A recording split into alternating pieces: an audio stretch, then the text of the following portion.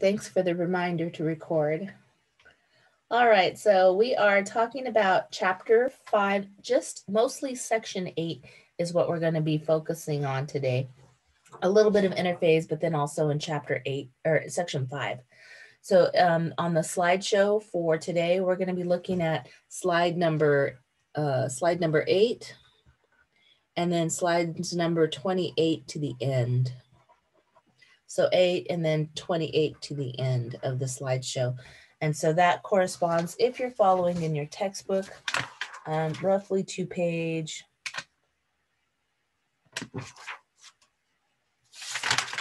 uh, page 137 is a description of one part of it. And then when we skip over to slide number 28, then we're going to skip over to page 143 of your textbook. All right. so we're talking about cell cycle and cancer today.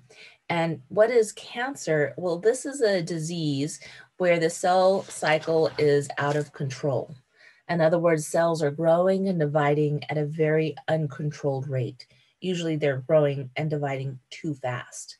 Now, why does that happen? Well, that happens because there is a mismanagement in how the cell cycle is regulated. So before we talk about that mismanagement, let's talk about how the cell cycle is supposed to work. Remember that the cell cycle has two parts to it. There's interphase and there's mitosis. These two phases are not equal in length. If you remember this diagram that we showed at one time, or that we drew out one time, we, sell, we said that um, interphase is most of the cell's time. Very little of the cell's time is actually during mitosis. So if we were to divide, divide this in a 24 hour day, this would be approximately about 90 minutes. And this would be the other 22 and a half hours of the day if we were dividing this into a 24 hour day. So all of this would be interphase. But interphase itself is divided into G1, S, and G2. Let me make this clear. If we divided it into a 24 hour day.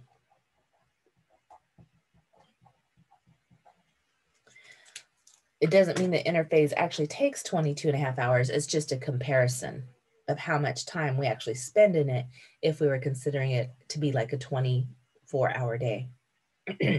so most of the time the cell is an interphase. Now, historically, before our microscopes were as advanced as they are now, historically, we used to think that interphase was a time of rest.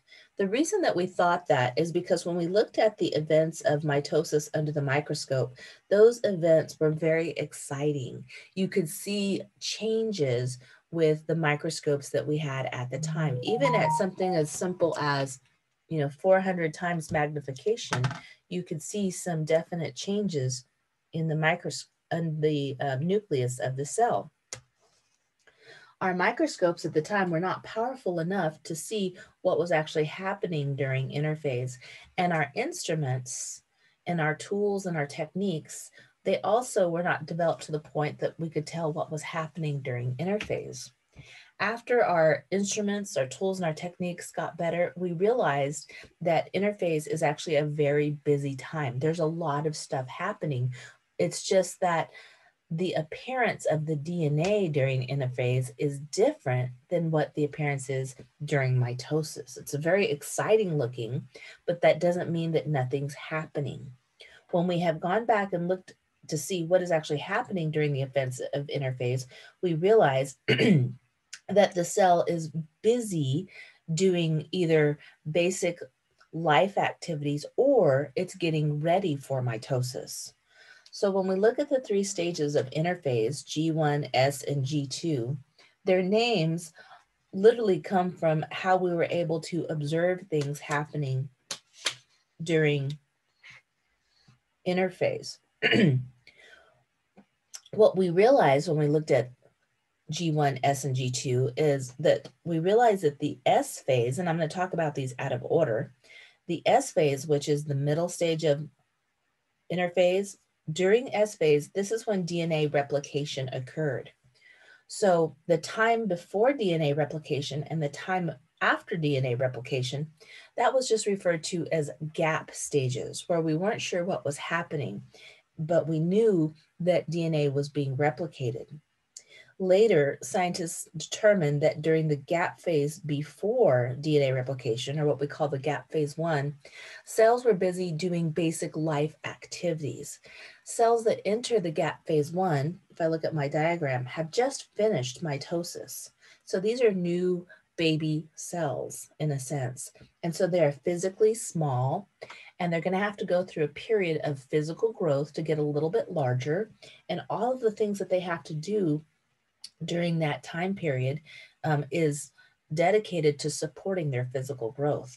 So that means that they're going to be very metabolic. They're going to be breaking down lots of sugars and protein molecules and other in order to provide energy that they need to grow physically and to do other things such as replicate organelles. They need to make new mitochondria. They need to make, if they're plant cells, they need to make new chloroplasts. Um, they need to make new endoplasmic reticulum. They need to make all of those internal cell parts uh, for those new growing cells. So after gap phase one, the cell goes into the S phase or the synthesis phase, where the cell dedicates its attention to its genetic material. And this is when the cell is going to make a copy of every single piece of DNA that's in its nucleus. When that stage is over, then the cell enters gap phase two, the period of time after its synthesis. What's important about gap phase two is that a cell that enters the G2 phase is referred to as being committed. And committed to what? Well, committed to mitosis, meaning that a cell that enters gap phase two eventually will divide. So during gap phase number two, the cell spends its time making final preparations for mitosis. After the G phase two, of course, then we go into the mitotic phase of prophase, metaphase, anaphase, and telophase. We've already described what happens at those stages quite a bit, so I'm not going to review them, other than to remind you that this is the mitotic phase. And then the cell cycle starts all over, where the cell goes back and then there's G1 again. So this is why we call it a cycle, because it starts over and after we finish telophase, and cytokinesis.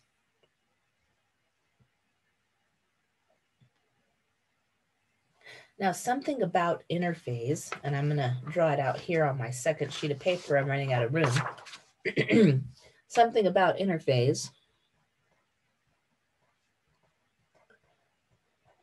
So as I've explained, we have the G1, the S, and the G2 phase. There is an alternate to the G1 phase, and that is called the G0 phase. So if I'm looking at my diagram of the cell cycle, G1, S, G2, and then mitosis, back to G1, there's an actually an alternate called the G0 phase there's an alternate to that, the G0 phase. Um, G0, this is basically permanent G1 phase. It's permanent G1 phase. and what I mean by a permanent G1 phase is that the cell is going to continue to do all of its regular life activities, but it's never going to move on to S phase again. So you have daily living activities.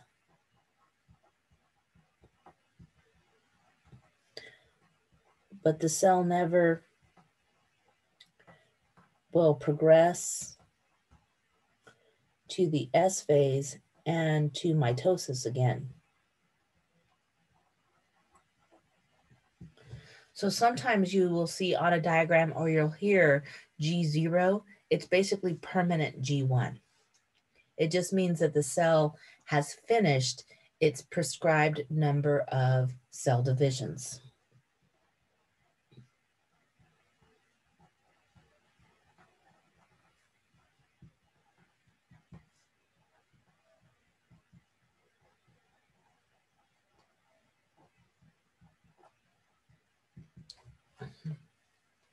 So how do we know, or how does the cell know when it has reached its number of cell divisions? You know, in other words, what controls this? What controls this? Well, one answer is the length of what are called your telomeres.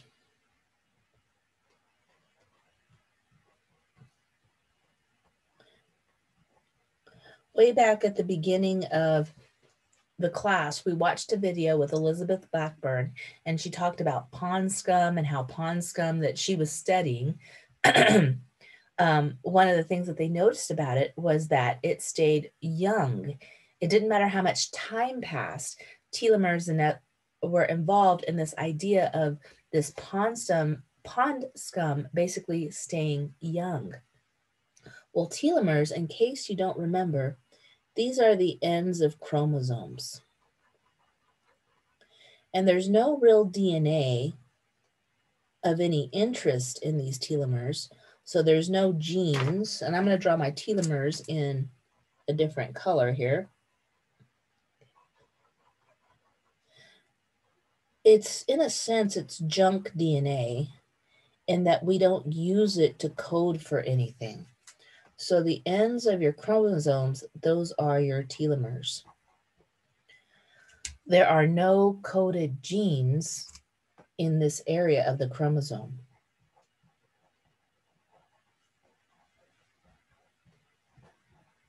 Scientists believe that the purpose of the telomeres is to act like a protective cap on the end of the DNA that we do use.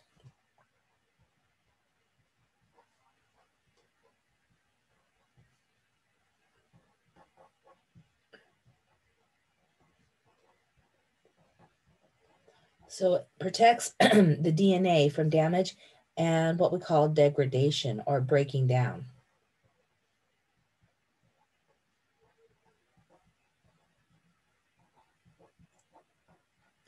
An interesting thing about the telomeres is after you undergo mitosis, your DNA stays the same length, okay?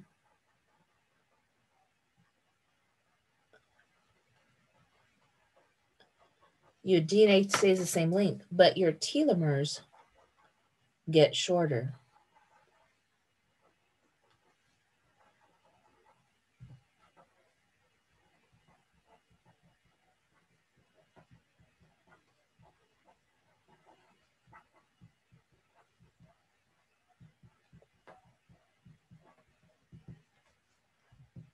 So something interesting about telomeres is that they shorten with every mitotic division.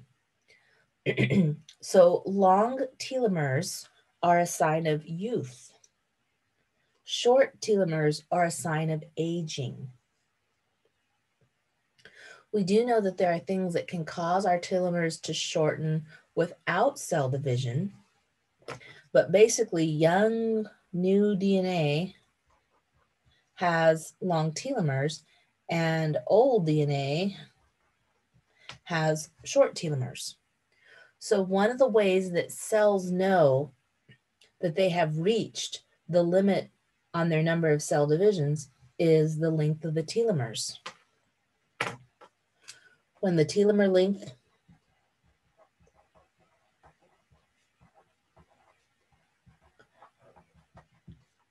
have reached a short stage, we know that we don't want to divide anymore.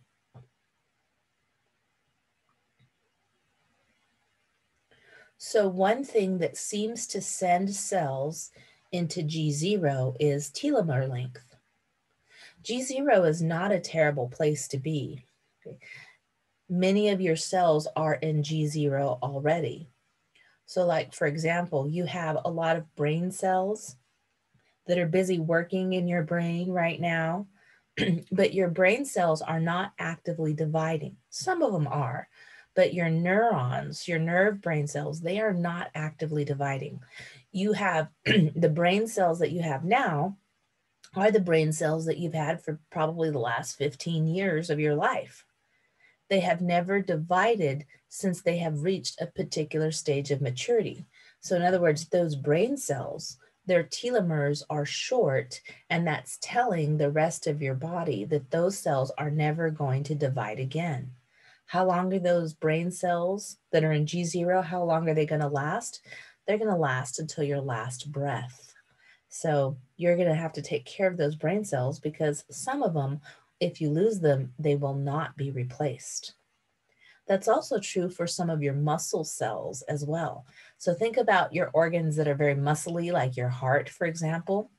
There are certain cells in your heart that make up certain layers of muscle tissue when those cells came into existence, like when you were being formed within your mother's womb, those cells came into existence and they never divided again. All they've done is they've grown physically larger as you age. But if you lose those certain heart cells, they're not going to be replaced because their telomeres are too short.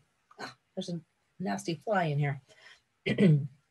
there are other cells, however, that their telomeres length does not seem to trigger this idea of going into G0. So, for example, your skin cells, you are constantly replacing your skin cells because they get old and they fluff off because your skin is born at one layer and then it moves up to the top layers and you lose layers of skin cells.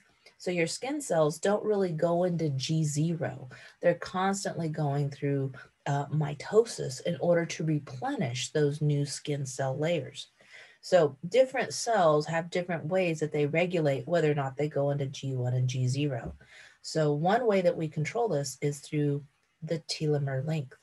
After you have gone through so many divisions, then we stop going through the cell cycle and we leave you in G0 until you get old and have to be replaced.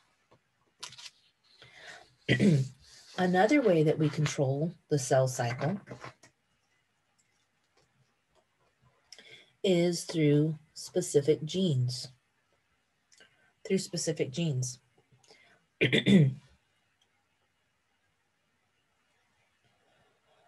One type of gene is what we call a proto oncogene.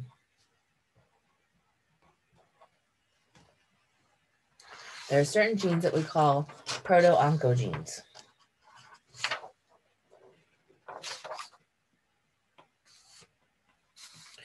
Proto-oncogenes, these are normal genes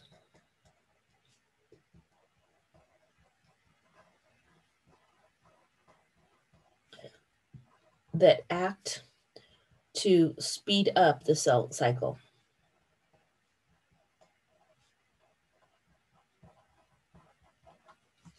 And if you're following along, this is where I'm on um, page 143. Or um, slide number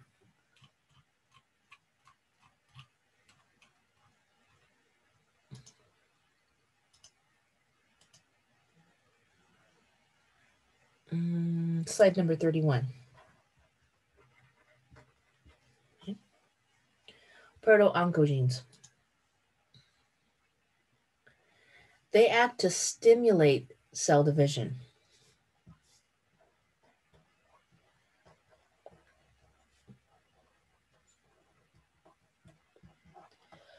Probably the most famous, and this is not in your book, so make sure you write this down. Probably the most famous proto-oncogene is called the P51 gene. So if you are looking for a topic for your cell, for your oral presentation for lab, the P51 gene, there is so much information on it. It is a very well-studied proto-oncogene. everybody has a P51 gene. You've got one, I've got one. We all have a P51 gene. Its job is to encourage the cell to move through the stages of the cell cycle. The P51 gene produces what we call a growth factor.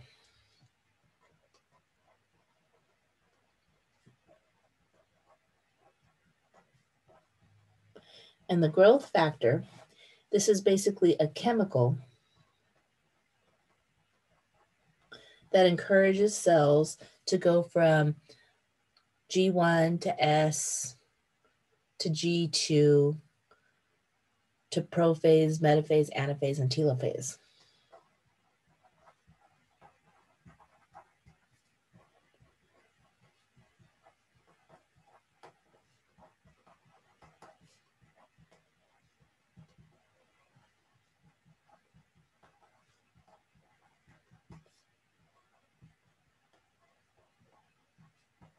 So it's the job of that growth factor to encourage the cell to move from one stage to the next within the cell cycle.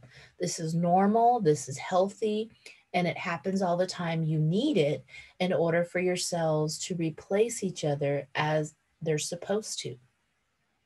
Sometimes, and if you remember when we were doing um, transcription and translation, we did that activity where we said maybe a gene is mutated sometimes proto-oncogenes like P51 can get damaged. When there is damage to a gene, then we say the gene has been mutated. And the mutation means that we change the DNA sequence. So for example, maybe the sequence is supposed to be A, T, C, G, T, T, A, but something happened. This is normal. Something happened and we changed the sequence to let's say A, T, C, and then it became C, A, A, G. We changed this last part of it. And so that's important because if this is our gene, you remember that that's going to impact our mRNA. So our mRNA is going to look different. Now our mRNA is going to be um, U, A, G, C, A, A, U. Whereas this mRNA is going to be U, A, G, G, U, U, C. It's going to change the last part, and that ultimately can impact the protein. And we might end up with a different protein than what we were supposed to get normally.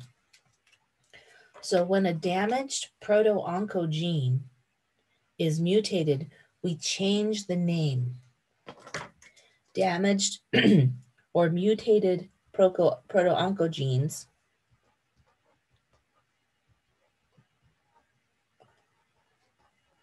are called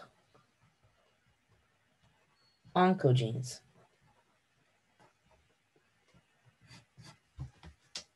They're called oncogenes. And oncogenes do not work the same way as proto-oncogenes.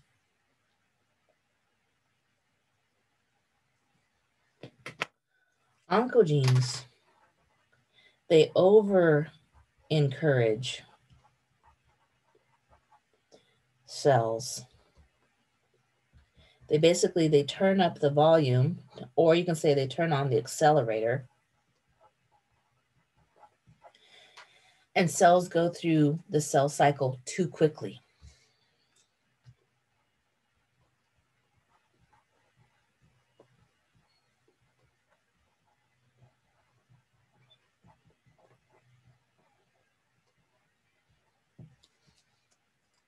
If that happens, that's what we call oncogenesis. And oncogenesis is the beginning of cancer. Oops, I misspelled it. Oncogenesis. There we go. Oncogenesis, or the beginning, the onset of cancer.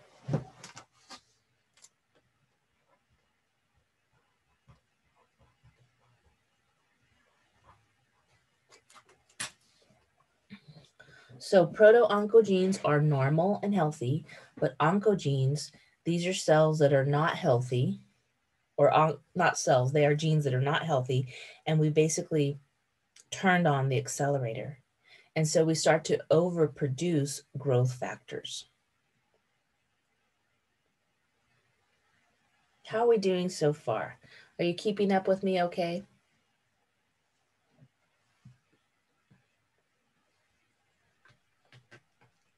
Little behind. A little behind. So type a number one into the chat window when I can go on to the next page. Yeah.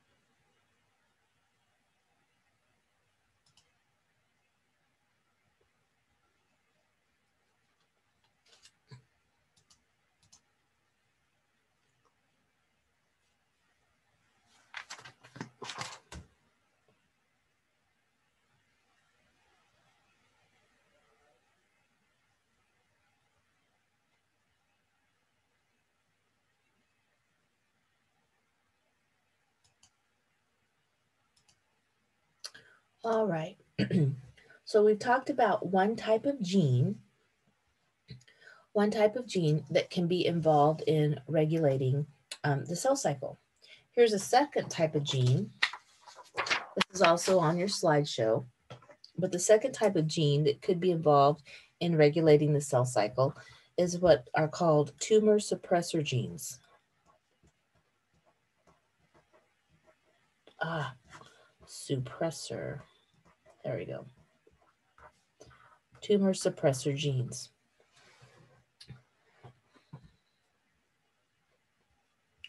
Now, the role of healthy tumor suppressor genes, their job, so we'll say normal healthy TSPs,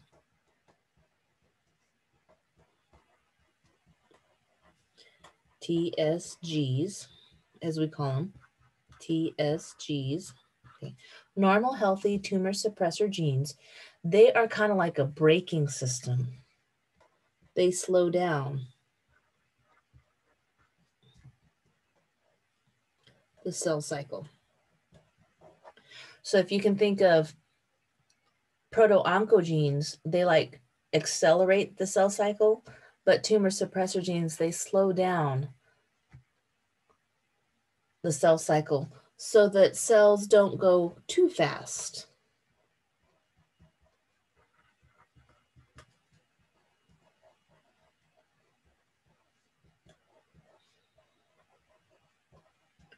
We want cells to go through the cell cycle at the right rate. It's kind of like there's a speed limit, you know. We want you to go somewhere between 50 and 55. 60's too fast, 40's too slow. So between these two sets of genes, one of them speeds it up and the other one slows it down so that together they make sure that you're passing through the cell cycle at the right pace. However, if these get mutated,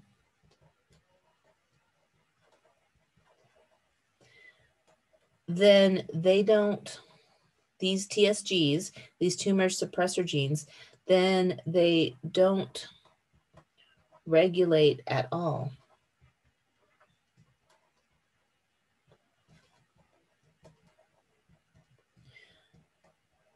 They allow the cell cycle to pass through without any breaks.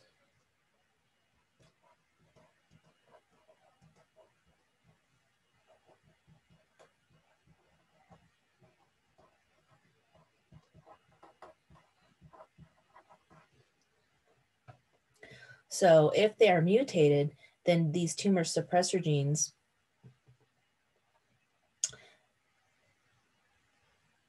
they don't put any braking system on there. And so the cell progresses without any slowdown.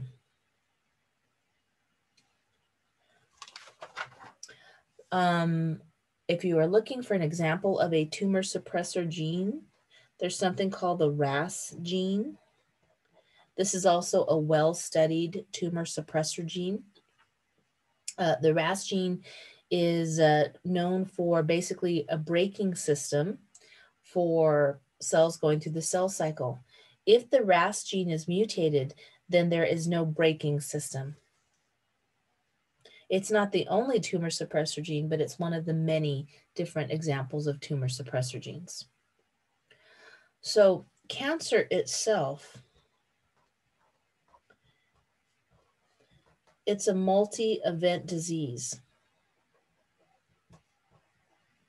Lots of things have to go wrong before you can actually um, develop cancer. Lots of things have to go wrong. So you have to go wrong with the system that manages the telomeres. You have to go wrong with the proto-oncogenes, and you have to go wrong with the tumor suppressor genes. So the telomeres are not managed. Proto-oncogenes are mutated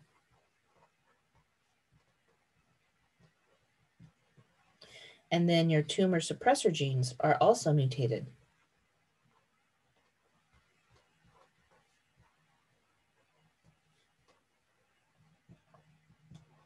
By the way, this is a short list. I could keep adding to this list, but I want you to get the idea that it's a multi-event disease. Lots of things have to go wrong in order for cancer to actually um, develop what could cause this plus any of the other things that I'm leaving off the list? What could cause that to happen? What could cause us to not manage our telomeres? What could cause us to mutate our oncogenes? Um, what could cause us to mutate our tumor suppressor genes? Well, that list is also a very long list.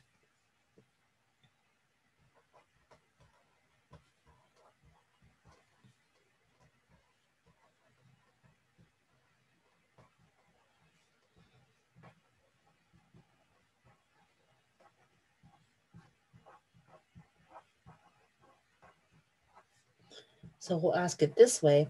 What could be considered a mutagenic or an oncogenic event? Remember that mutagen is something that changes your DNA, whereas oncogenic actually starts cancer. You can change your DNA, but not be a cancer causing agent. Some things are both, some things are just one by themselves. One thing that we know is that there is something called a telomerase. It's an enzyme. That's why I'm underlining the ASE. Okay, it's an enzyme. But telomerases, um, they are able to build or able to manage your telomeres. So if something mismanages those telomerases, in some cases, they rebuild shortened telomeres. And that sounds like a good thing, but it's not always a good thing. Because remember that long telomeres mean that you're young and short telomeres mean that you're old. Well, cancer cells are immortal, they're forever young. And so this is one of the ways that cancer cells stay young is that they rebuild telomeres. In other words, cancer cells don't die like they're supposed to because they keep rebuilding the telomeres that should be shortening, causing or at least leading to their eventual death. So, this is not always a good thing to have longer telomeres. We also know that exposure to certain chemicals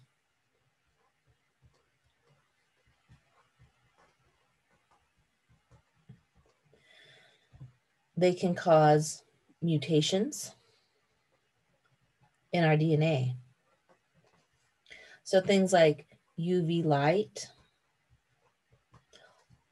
I don't think it's um, something that people don't understand, or at least that they don't know, that thing like sunburns, many, many sunburns over the course of your lifetime can cause skin cancer because the energy in the sunlight can literally damage your DNA at the skin level. Uh, exposure to things like cigarette smoke. Oh, cigarette smoke.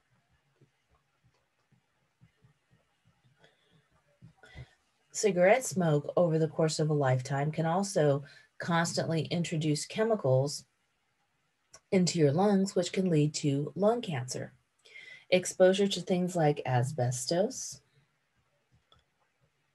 exposure to um, gasoline, vapors, and other solvents over the course of a lifetime can constantly introduce chemicals into your system, which can eventually cause cancer. There's also even evidence that some of the things that they put into our foods are cancer causing agents. You've probably heard that certain dyes, such as red dye number, I don't know what color or what number the red dye is up to, but red dye, uh, most commonly added to things like hot dogs to give them a pretty color that they look, uh, you know, appealing. Um, red dye is a food additive that has been implicated as being a possible cancer causing agent. We also know, though, that exposure to certain environmental hazards,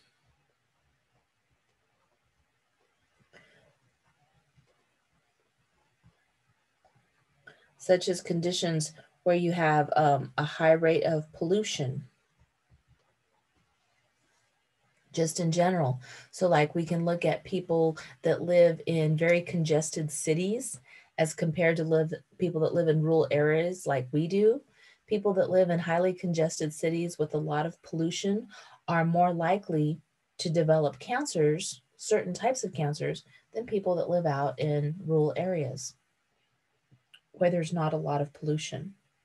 So there's a lot of incidents that could actually lead up to one of these or more situations which can cause cancer to result. Unless it's a super big event, most things require a lifetime of exposure for it to actually develop cancer. Oh, I forgot one. I forgot one. Number four. Certain bacterial and viral infections. Are known to be cancer causing agents. So, certain types of bacterial and certain types of viral infections are known to be cancer causing agents. So, again, um, it's not like if you get a one time exposure to cigarette smoke, you will get cancer. It's not like you get a, you know, you accidentally smell some gasoline vapors when you're putting gasoline in your car, you will get vapors. Uh, you will get cancer. It's almost always a lifetime of exposure, or you could have a one time event exposure that is so humongous that it has a serious impact. Like, for example, um, most of you are probably too remember too young to remember in the 80s there was a nuclear waste plant in russia that had a meltdown and the nuclear waste plant released a tremendous amount of energy the name of the place was Chernobyl. And so, again, if you're looking for a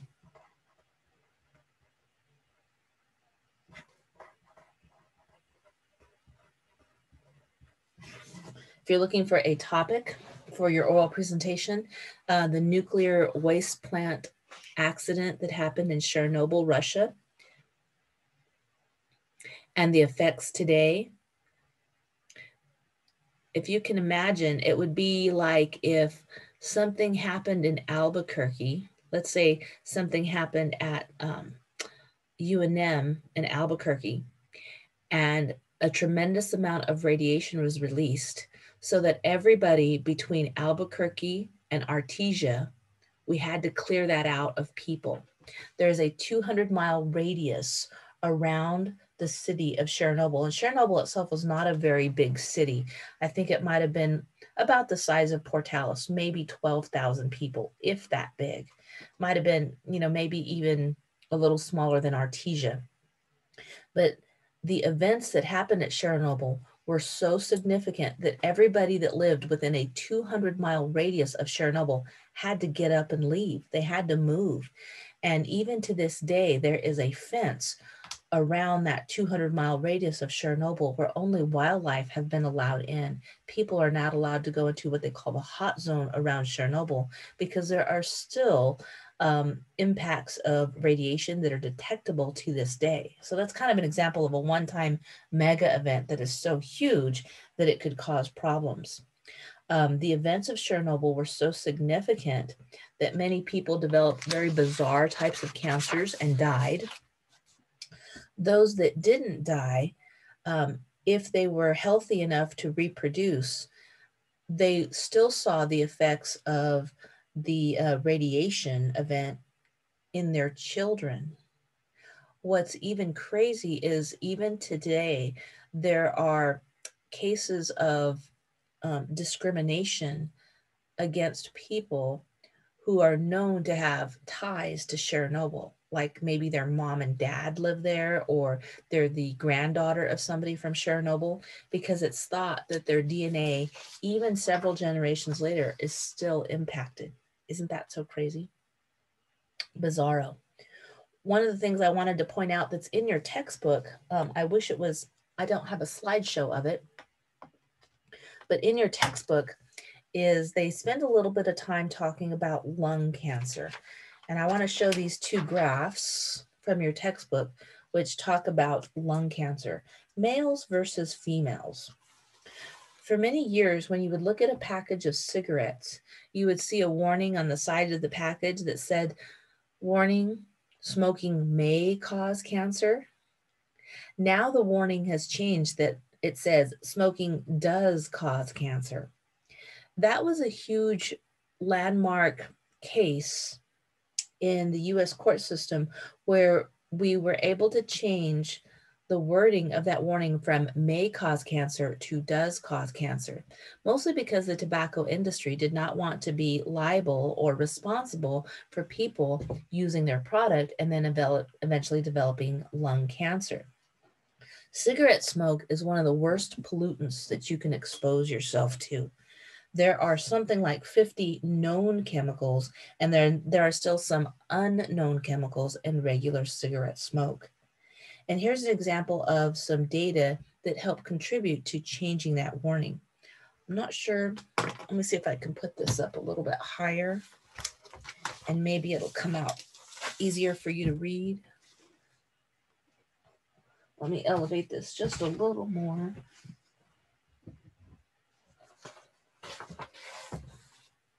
There we go. That looks a little clearer.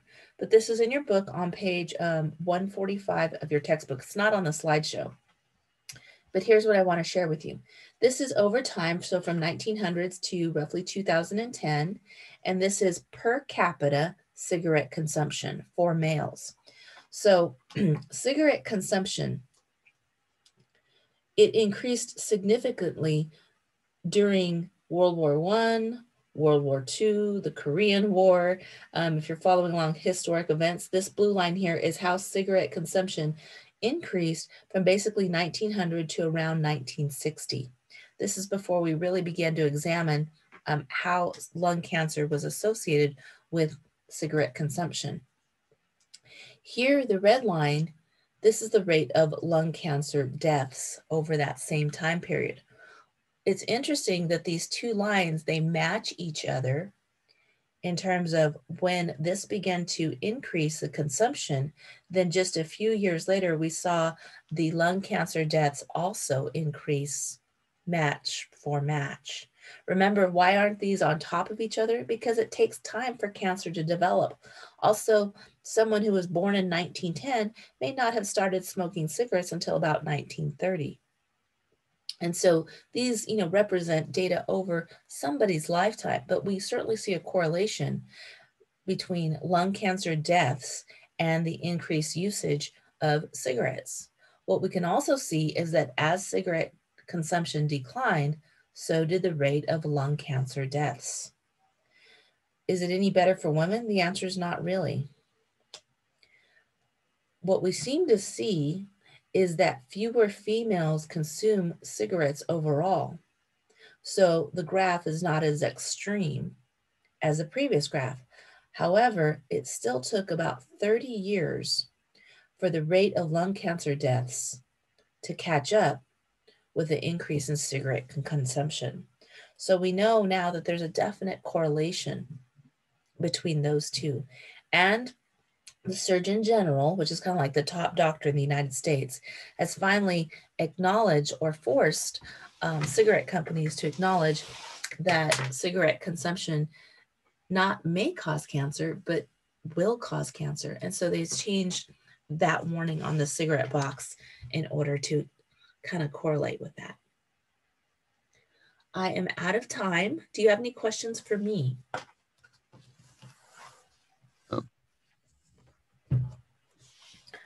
All right then. So as I mentioned today, um, we have just very few lectures left. We have our last regular lab this week. So Nancy, I'll see you for lab. Yes, ma'am. I'll see you for lab. The rest of you, I will see on Thursday for lab. You guys have a nice afternoon. You too. You too.